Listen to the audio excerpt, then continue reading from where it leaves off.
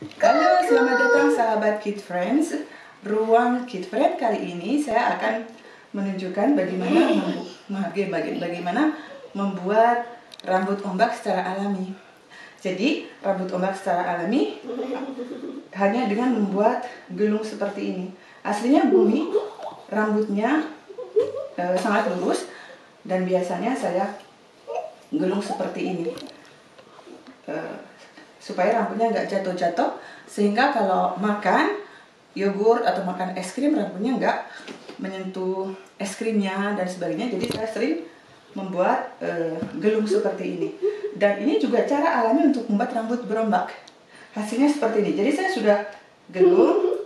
Nah, saya sudah gelung.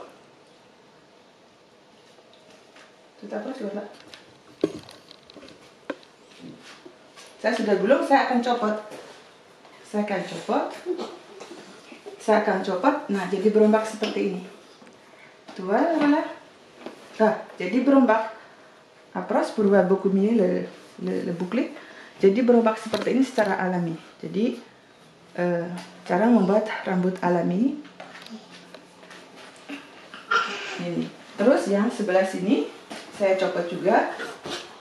Eh, yang apros Lorela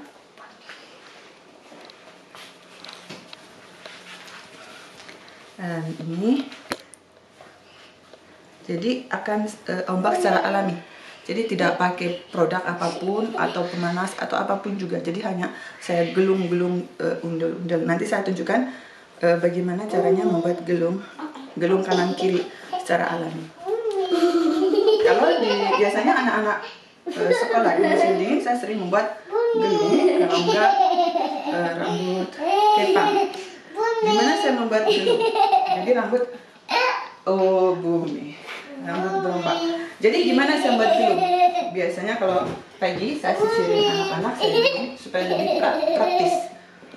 Jadi nggak akan setiap saat nyisir rambut. Nah, copot.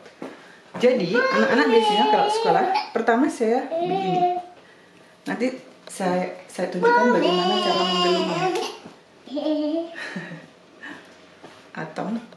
Bumi. cara menggelungnya rambut bumi. Ya bumi. Rambut bumi. Jadi saya ambil yang di tengah. Rambut di tengah begini. Eh, pagi-pagi biasanya. Sama dan saya ambil elastik. Eh, karet. Karet plastik buat rambut seperti biasa ya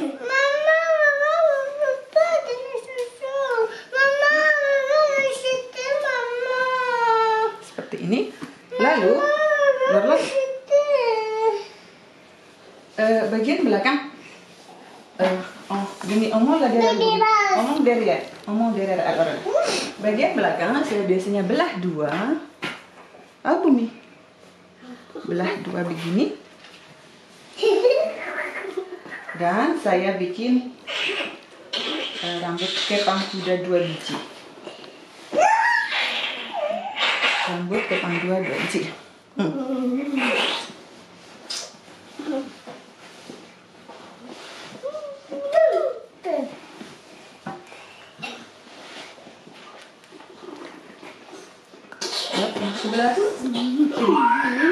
Bumi, donne-moi les chaussures, s'il te plaît. Bumi. Oui. Bibi, regarde. Chien, les chiens. Non, c'est pas chien. Tiens, là, là. Il y a plein. Bumi, sois gentil, pousse pas, Bumi.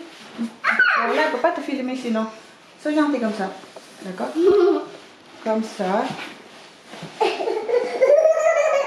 Aurore, il doit être calme et gentil, Aurore. Ah, seperti ini. Bagaimana saya membuat gelung? Saya ganti yang tipis nanti buat itu. Aurore, Aurore, Aurore, Bumi en train de faire je Est-ce que compris, Aurore, montez aussi. Nah, gimana membuat gelung? membuat gelungnya membuat gelungnya saya rambutnya bagi dua. Terus saya bikin torsat. Torsat begini.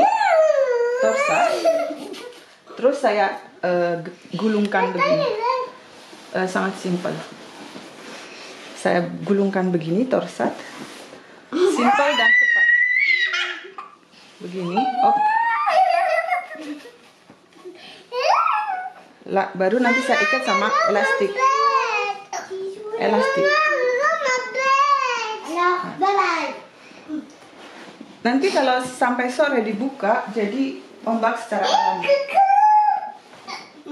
Rambutnya berombak secara alami. Ada skotela skotela namanya Eh, sebelah sini. Oh bumi buspa buspa bumi step lagi. Buspa bumi. yang sebelah sini. Ah, kita bikin torsat juga gampang. Torsat. Kita gulungkan. Eh, dan ini bisa dilakukan dengan sangat cepat. Biasanya dengan mempunyai anak kecil ada banyak pekerjaan. Kalau begini cepat itu sangat praktik dan sangat membantu dan anak-anak kalau makan rambutnya tidak ke mana-mana tidak masuk mulut.